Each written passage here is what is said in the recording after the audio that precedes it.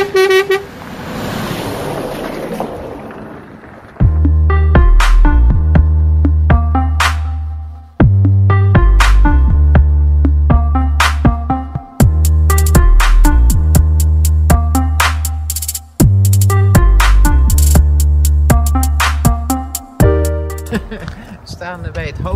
Boerenkers in Waterdorheim. En het voelde vanmorgen een beetje als ehm, wakker worden en denken: oh ja, ik moet naar mijn werk. Maar dat is niet zo. We gaan naar eh, de bijeenkomst van Seabridge.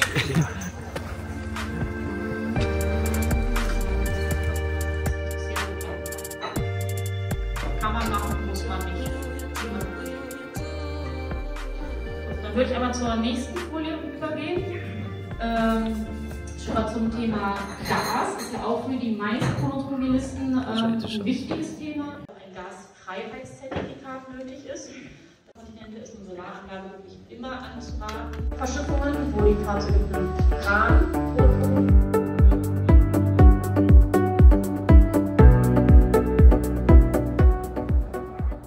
We staan in het stadje Donaueschingen. En ehm, het bord verraadt al een beetje wat hier eh, te doen is en waarom het toeristisch is.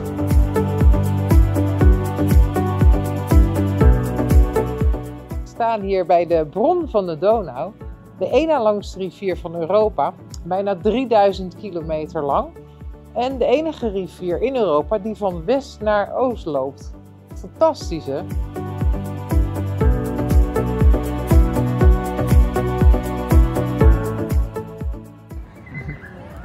Ook niks aan doen. Het is groot. Het is... Ik heb het besteld voor Rick dit keer. Ja, er zijn ongeveer drie verdiepingen. Maar het was karamel, dus ik denk, nou dat vindt hij lekker. Lekker. Je kan veel van deze camperplaats vinden. maar wat ze dan wel weer hebben op zaterdag is. nou, Rick, kom. Speciaal verzoek. Braadwoest! Twee. Ja, ik vond er één te weinig. En het was eigenlijk braadworst met broodje of braadworst met kartoffel. Ja. Wij nee, we willen het allebei. Ja. En hij raakte helemaal in de war, die. Ja. Hij zei ja, oh ja, twee mag ook natuurlijk. Maar toen wist ze niet meer wat het kost allemaal. En, eh, Volgens mij deed hij maar wat. oh, ruikt lekker joh. Het is lang geleden dat ik een broodje braadworst op heb. Beetje zens. Dus wederom, niet koken, geen pizza, maar nu wat gezonders. Want er zitten aardappeltjes bij. Ga je het proeven, jongens. Ik zie er alleen geen aardappel in. Mm. Wat zit Oh, er? dat is een beetje wat zuurig. eh. Ah, zurig, zurig, zurig. Ehm, goed, nou, eet smakelijk. Goedemorgen. Goedemorgen. Dit doen we normaal ook, ook nooit hoor, Nee. tijdens het ontbijt. Slaat nergens op. Maar goed, maakt niet uit. Croissants. Oh, het is zondag. Jullie ook eet smakelijk als jullie dit zitten te kijken. Nou, wat vond je ervan? We zijn gisteren bij eh, Seabridge geweest, bij Oh ja. de bijeenkomst. Een paar eh, dingetjes die we ervan vonden. Het was druk bezocht. Dat zeker. Maar volgens mij heel veel eh, Duitsers. Ja. En ik heb wel wat Nederlanders gehoord, maar niet veel. Weinig. Ehm, ja, zonder nu meteen negatief te willen zijn. ehm, het is absoluut informatief. Maar eigenlijk alles wat er verteld is, hadden wij zo'n beetje al of van internet of van, ja, Van hun eigen site. van hun eigen site inderdaad. Ehm, dus ja, of het nu echt heel veel toegevoegd heeft, weet ik niet. Nee. En natuurlijk is er dan na afloop ruimte om ehm, met die mensen te praten of vragen te stellen. Maar ja, Ja, het klinkt misschien een beetje negatief, maar ehm, je hebt, wij zeggen altijd een beetje van het haantjesgedrag. Dan schieten er overal mannetjes vandaan. ja vooral mannetjes trouwens. Ik ben ook een mannetje. En, eh, maar die staan dan allemaal bij, eh, bij de speaker, zeg maar. hè? Bij de vrouw die het eh, heeft verteld, het hele verhaal. Ja, weet je, dan, dan sta je in een rij. Nou, dat heeft echt geen zin. Nee, en dan, dan nemen ze echt wel de tijd voor je. Dat is heel mooi. Maar vervolgens sta je daar misschien een uur te wachten voordat je één vraag kunt stellen. Ja. Dan denk ik, nou ja, die kan ik dan ook wel via de e-mail stellen. Ja. Maar goed, Ja, maar het was best leerzaam. Ja. Maar ik, eigenlijk eh, moet ik zeggen dat ik bijzonder weinig nieuws gehoord heb. ja, en, en dan is het ook zo van, eh, toch goed dat we geweest zijn. Want Ja. als je niet geweest bent, weet je ook weer niet wat je Nee. gemist hebt. Dat is ook weer waar. Dus eh, ja, ben je zelf geïnteresseerd, dan eh, kan je er altijd heen gaan. Ik zou niet met de hoogste verwachtingen gaan. Nee. Lees je vooral goed in. Misschien hebben wij eh, ons te goed ingelezen dat we dit niet meer nodig hadden. Ja. Klinkt misschien een beetje arrogant, maar ik heb echt niets nieuws gehoord. Nee, En daarbij is het dan ook nog wel zo dat ehm, het gaat wel vrij snel in het Duits. En we Ja. konden het wel volgen. Ja. Maar sommige dingen ontgaan je dan toch net, denk ik. Door Ja. de snelheid van de Duitse taal. En het zijn toch ook voornamelijk mensen die eh, daar zitten volgen. We hebben er wel een aantal gesproken die gewoon nieuwsgierig zijn hoe dat werkt. Die niet echt gaan, maar gewoon Nee. denken van, nou weet je, misschien ga ik ooit, Ooit, eens. ja. Gaan waarschijnlijk nooit. En die, die vullen eigenlijk wel voor het grootste gedeelte de zaal. Dat merk je ook wel een beetje aan de vraag of aardappelen Ja. mee kunnen en dat soort dingen. Ja. ja. Ja. Dus ja, ja al met al. Op een gegeven moment ging het eh, best wel lang over de ESTA-formulieren en Ja. de visa. Ja. Dan denk ik, ja, weet je, dat, dat kan je al van tevoren weten. Maar ja, daar gingen ze best lang op in. En over die termijnen dat die visum geldig is. Ja, weet je, Mina, staat uitgebreid op internet. Dus daar hoef je niet voor naar zo'n eh, bijeenkomst toe. Maar desalniettemin zijn we in een mooie omgeving. Zijn we naar de Donaubron geweest. En eh, maken we er wel weer wat van. We staan nog steeds op dezelfde camperplaats. We zijn nog niet vertrokken. We maken er het beste van. We zijn En, in eh, tegenstelling tot wat Rick zei. Na één dag wil je weer weg. Blijven wij gewoon. Ja. ja. En eh, misschien dat ik met de drone nog eventjes eh, dit, Oh, dit, ja. dit verhaal kan filmen hier. Hoe dat eruit ziet. Hoeveel Ze hadden heel... Ja, 400, ik had 400 gelezen, maar dat kan ik me nou ook weer niet voorstellen. 400 plaatsen. Nou, lijkt me ook een beetje aan de... Maar ja, goed. Het zijn Misschien er wel kun je het veel van hoor. boven laten zien. En ga lekker ontbeten. Tot laters.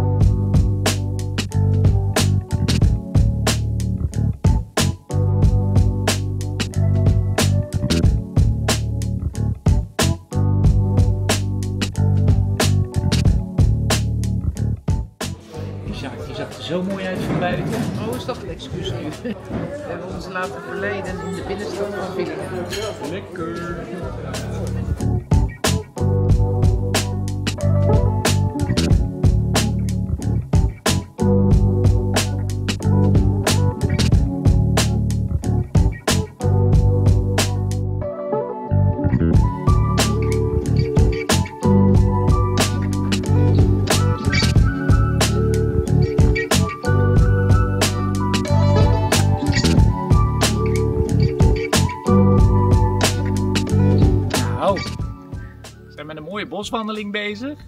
Ligt op 1000 meter hoogte. Ja, gek hè? Pad.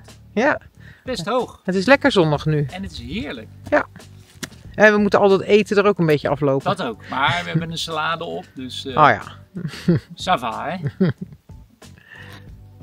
en deze jongen vindt het ook gezellig. Lekkere vent.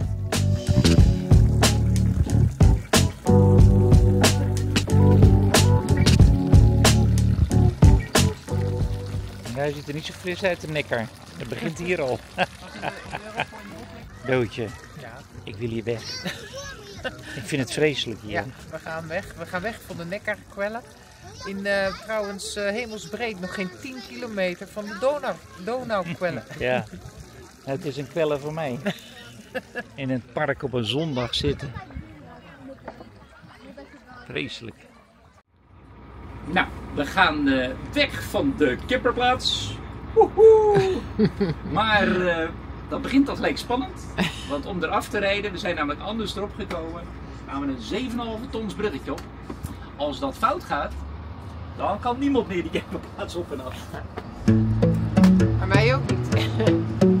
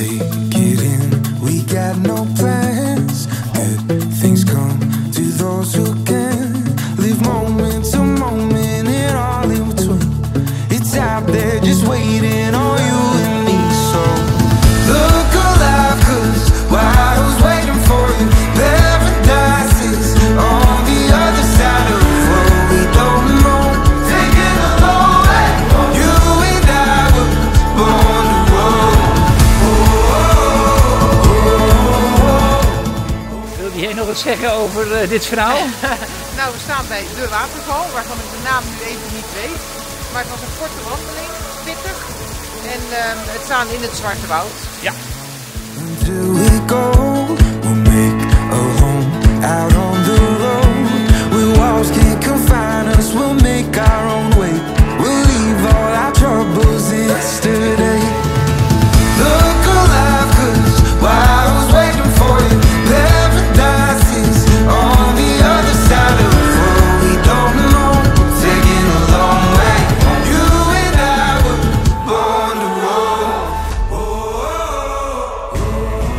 Camperplek in Frankrijk. Ehm, niet dat we terugrijden hoor.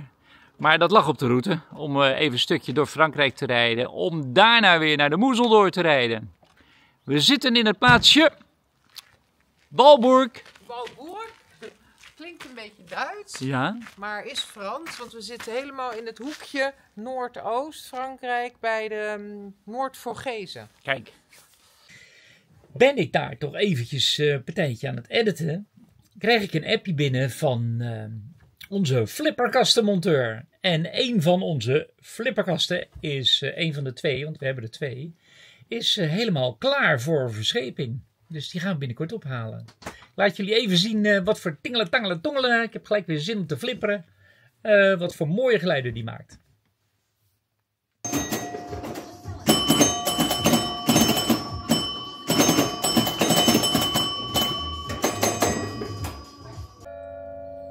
Ja.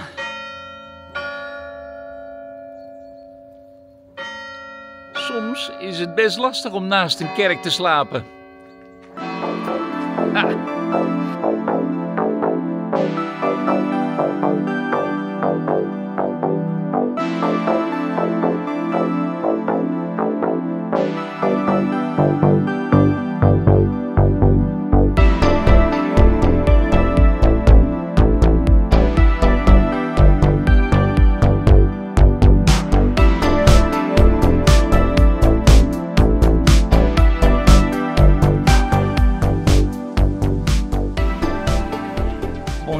Bonjour mes amis. Bonjour. Nous sommes retour de France. Ah oui, pour un petit peu instant.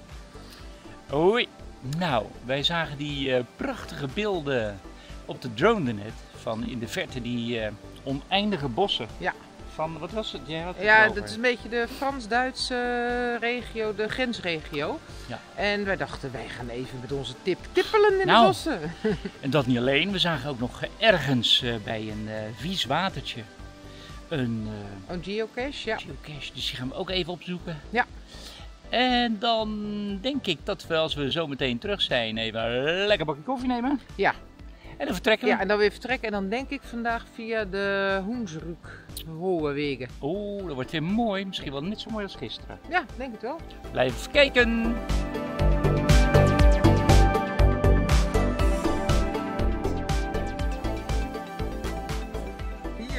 In de bossen, op de Frans-Duitse grens eigenlijk, ligt een geocache. Ga maar zoeken.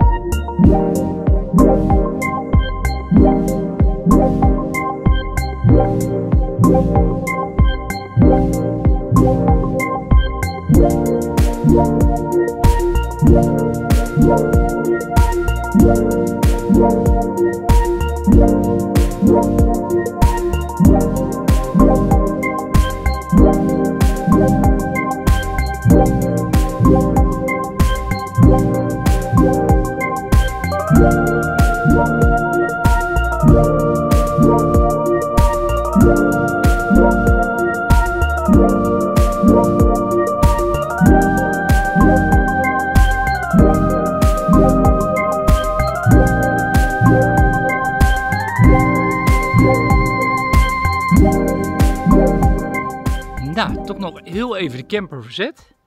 Dit vind ik toch een iets beter plekje. Staan we wat rechter ook.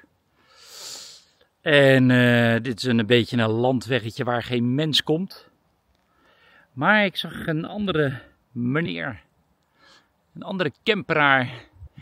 Die was, eh, heel nieuwsgierig aan het kijken waar wij eh, nou die camper gingen zetten. Ik hoop niet dat hij dadelijk zijn campertje naar voor ons gaat zetten. Dat zou ik weer jammer vinden. Ja, je hebt altijd van die mensen die kruipen dicht bij elkaar. En wij hebben zoiets van, eh, ja, we staan graag helemaal alleen. Kijken of dat lukt. Intussen heb ik uh, tip gevonden. Dat betekent dat uh, Do hier ook ergens in de buurt moet zijn. Hij is volgens mij met een geocache bezig. We gaan eens even kijken. hey, Tip. Tip. Waar is vrouwtje? Ga zoeken. Kijken of Tip me kan uh, helpen. Tip, ga zoeken. Waar is vrouwtje? Ah, hij is er op het spoor. Waar is ze? Ga zoeken. Hé. Hey. Ja, zo kan ik het ook. To, vertel eens, hoe uh, zit dat uh, met, die, uh, met dat ding? Nou, ik weet deze kast, ik weet niet hoe dat werkt. Dat is, het is moeilijkheid 5. Nou, heel moeilijk. Dat kunnen wij gewoon niet. En dan is er iets met een hangslot. Maar ik denk, ja, ik heb toch geen sleutel? Nee. Dus ik snap het Moet je die sleutel dan ook zoeken misschien? Ja. Misschien ah, moeilijkheidsgraad 5. Of zo. Ik vrees dat dat uh, boven onze geocache uh, capaciteiten ja. gaat. Ik denk het ook. Denk je niet? In ja. ieder geval geduld. geocache geduld. Ja. Heeft zijn grenzen, hè? Vind ik ook.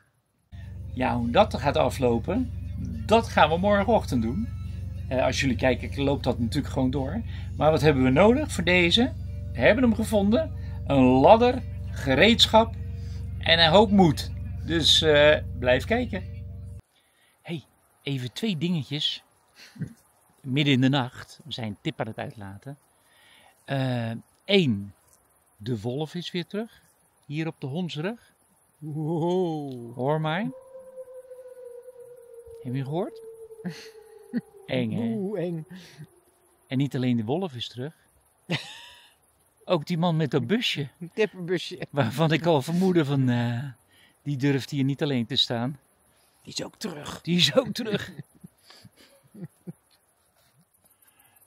en tot overmaat van ramp is het ook nog eens volle maan. Oh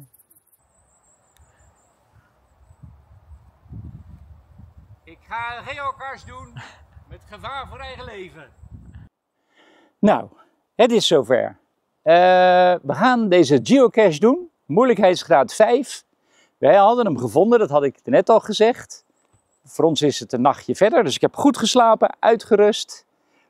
Het is midden in het bos, dus ik verraad denk ik niet veel. Maar je hebt een trap nodig, wat ik al zei. En wat gereedschap. Of je moet heel lenig zijn. Ja, je moet heel hoog kunnen springen. Uh, trouwens, we blijven dit soort dingen niet filmen hoor, die geocaches. Want daar word je misschien wel een klein beetje moedeloos van. Uh, dus bij deze, maar deze pakken we even mee. Omdat de, deze ook nog nooit door ons uh, is gevonden, zoiets. Nou Do, kan je me assisteren? Anders wordt het de laatste reis hier. Are you ready? To rock and roll. Hoe zouden mensen dat doen hier zonder trap? Kijk, Ebbes, kokertje. Maar er zit er nog een moeilijkheidsgraadje aan. Ja, maar ik heb mijn outillage al klaar liggen. Want, ja, er zit ook nog een slot aan. Moet je maar kijken. Hoe moet je dat doen? Dat vraag je toch al af. We gaan het zien. Wat je als geocacher altijd bij je moet hebben, is een multitooltje. Een nieuw Zwitser zakmesje uit Keizersberg. Pincetje en een pen. Maar dat zit nog in mijn tas. Ik denk dat we hem hiermee open gaan krijgen. Hoop ik. En anders heb ik nog wel een sleeptol in de auto liggen. nou, Do. Ja, op de foto zagen we ook iemand wurmen met een mesje. Volgens mij moet je hem zo open kunnen maken of zo. Deze niet? Nee. Ah, dat ook niet. Ik denk dat de gereedschapkist even tevoorschijn gehaald moet worden.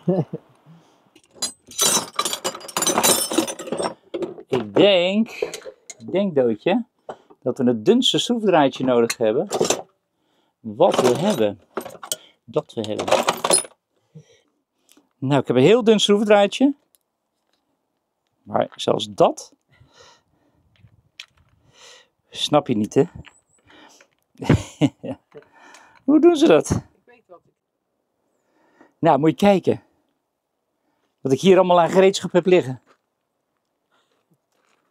En uiteindelijk, uiteindelijk, dat dingetje wat Do in de zak had, kom je er eigenlijk? NKC. Ha! Oh, dat wist ik niet. Kom je daaraan? Nou, wordt gekregen. Die stop je erin. Diep. En wat doet hij? Ploeps. En hij is open. Oeh. Ja. En dan is hij nu vrij. Vrij, vrij, vrij. Wie zegt dat ook alweer?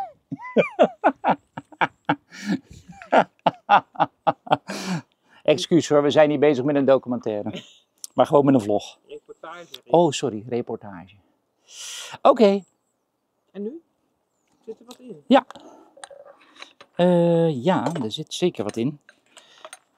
Dat zei nog niet. Jongens, jongens, jongens. Oh, wow.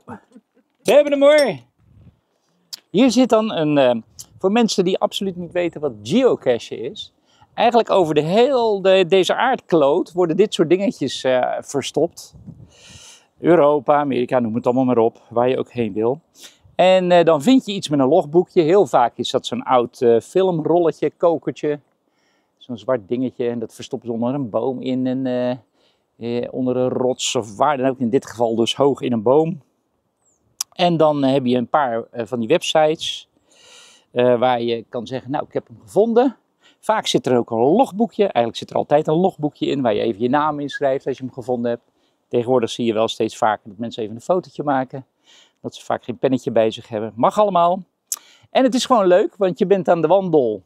En eh, je denkt bij jezelf, eh, goh, eens even kijken of er zo'n geocache ligt. En dan loop je er naartoe. En vaak kom je dan op hele bijzondere plekjes waar je normaal gesproken nooit zou komen. Tot zover de geocache verhaal. Nu moet Do even ingrijpen, Ja. want die moet de naam nog. Nou, eh, heeft Rick ooit verzonnen dat wij op geocache een hele lange naam hebben. Tip de bruine labrador. En die, die past er bijna nooit op. En kijk eens wie er allemaal al wat geschreven hebben. Leuk hè? Zo, en de datum. En de datum. En dan stoppen we weer terug.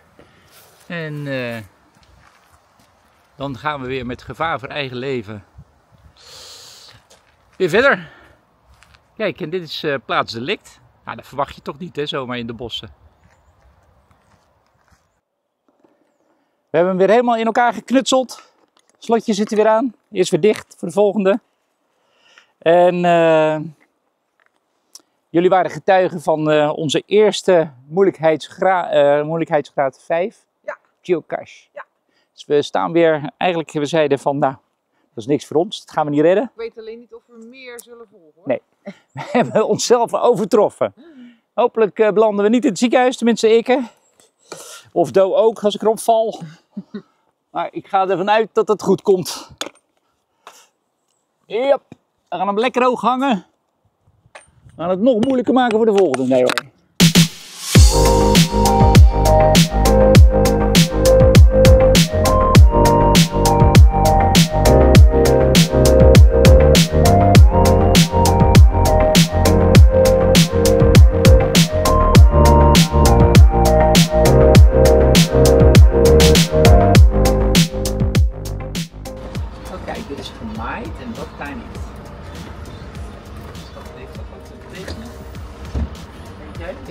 Eigenlijk vakken. Kijk, je moet het zo zien. Dit is eigenlijk een vak tot de middenstreep en dan begint het volgende vak. Is dit Waar hij staat. Woonmobielstelplaats Kesten aan der Mosel. Zonne? En- nou, dan moet kijken hoe druk het nog is. Ja. Zomaar op uh, door de weekse dag. Ja, woensdag. Ja. Half september. Ongelooflijk. Ja. Oh, lekkere tip. Ja, jong. Nou, hij heeft even zijn dingetje gehad. Nou, prima plekje weer hoor. Niet zo heel vrij, maar mag er zijn. Goedemorgen, uh, schönheid. Vielen Dank, Herr. Wat zeggen, wat zeggen Sie normaal uh, in uh, Duitsland? Schöne Frau. Oh, schöne Frau. Goedemorgen. Goedemorgen. Nou, je merkt het al, wij zitten aan de freundliche Moezel. Moezel, ja. Moezel. Mijn Duits is eigenlijk niet zo goed. Aan de Mosel. Aan de Mozel, sorry. nee, wie het al. Gisteren ehm, hier aangekomen op de ehm, CP in Kesten. Prima CP. Ja, vinden de CP, Ja. de CP zelf is niet zo mooi. Want het zijn gewoon rijtjes campers. Dat zien jullie daar ook wel op de drone. Grasveld. Maar de omgeving, en dat zien jullie ook op de drone, die is echt heel mooi. maar verrassend druk nog hè, overal. Ja. Ja, we hebben natuurlijk eh, het geluk dat we het kleine Fiatje bij ons hebben. Dus wij kunnen die stadjes hier gaan bekijken. Ja. Maar we waren gistermiddag in Bernkastel koers. Nou, nou, je ziet het aan de beelden, zometeen. echt nog heel druk. Ik kom me over de hoofden lopen bijna hier. Had ik Maar- niet verwacht hoor. Blijkt ook wel dat september, en daar hebben wij niet over nagedacht, een drukke maand is. Omdat er wijnfeesten zijn. En, eh, Ja. Nou ja. Ook wel weer heel gezellig. En we bleken ook nog eens op eh, 17 kilometer afstand te zitten van vrienden die ook op vakantie zijn in eh, Duitsland. Dus dat was wel heel grappig. Ja. Dus, ehm, hebben we meteen mee afgesproken.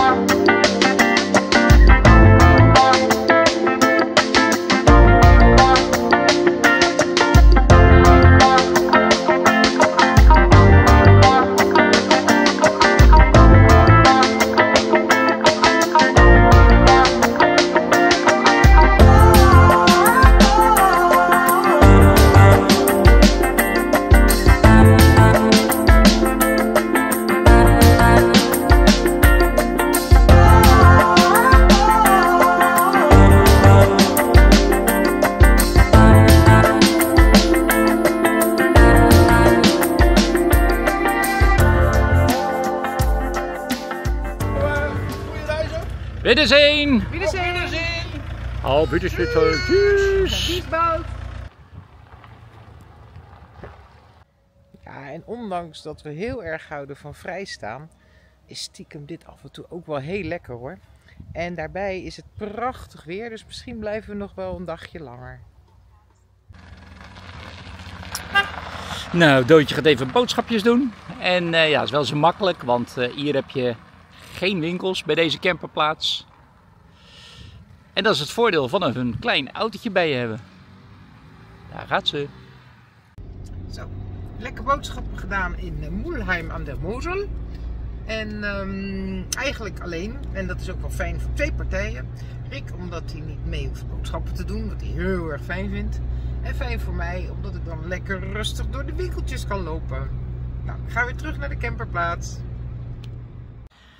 Ja, ik wilde toch nog heel even iemand wat eh, veren in zijn, nou ja, figuurlijke kont steken dan maar. Zeg je toch zo, hè? Ja. Ehm, en nee, ik word ook niet, of wij worden niet gesponsord door welk merk of bandenleverancier dan ook. Maar wij eh, hadden vroeger, toen wij nog een bedrijf hadden, een bandenleverancier in Rotterdamse Waalhaven, PJ-banden. Die zijn eh, overgenomen al een paar jaar geleden door Bandimix. Dat is echt een superbedrijf, vind ik. En eh, daar heb ik wat achterbanden, vier achterbanden besteld. Die liggen daar op voorraad. Ik belde nog eventjes zojuist eh, om te vragen: joh, zou je voor mij ook sneeuwkettingen kunnen regelen? In verband met onze reis richting Canada en Alaska. En het is allemaal geen probleem. De rekening die komt vanzelf. En eh, ja, dat vind ik toch eigenlijk super dat dat in deze tijd nog allemaal kan. Dus bij deze jongens, ja, ik vind het een geweldige zaak. Hartstikke bedankt dat jullie kijken, eh, jongens van Bandymix. En eh, jullie zien me binnenkort weer. Nou, dat was alweer, eh, nou alweer, bijna 30 minuten verder zijn we. Hele lange vlog. Lange vlog. We gaan hem afsluiten. Ja. En? Met een hele speciale gast, dit keer uit Zeeland. Top. Blijf kijken. Wil je dat nou ook? Zo'n leuke afsluiting maken? Eh, kijk dan eventjes, eh, of druk even, klik op de link hierboven. Of kijk even naar de vlog hier, 29 Seconds of Fame. Hoe jij onze vlog ook weer af kan sluiten. Zo is dat. Zouden we heel leuk vinden. Hè? Heel leuk. En zet niet weg, want je krijgt nog de groeten van Do. Altijd. Doei. Hoi mam. Vloggers, bloggers, hikers en medekijkers. Vanaf de dijk in Westkapelle. Ja, staan we dan. Voor Tires Travel. Af en toe een leuk filmpje. En we volgen al jaren Tip, de bruine Labrador. Wat zijn ze leuk en wat volgen jullie graag. Even een klein duimpje en liken natuurlijk. Vanaf de Dijkenweskapelle. Tip, top. En dan tot slot de route die hoort bij deze vlog. Tot volgende week!